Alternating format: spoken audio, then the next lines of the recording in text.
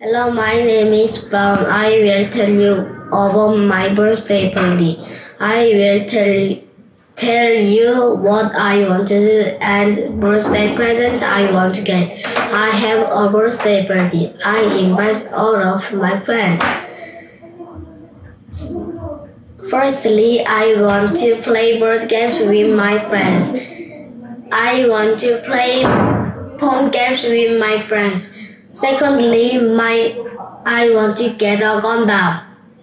My brother gives me some money. The money is great. It is it is very good. Lastly, my mom gives me a Gundam. The Gundam is early. It is medium size and looks amazing. I love it so much. Thank you for listening.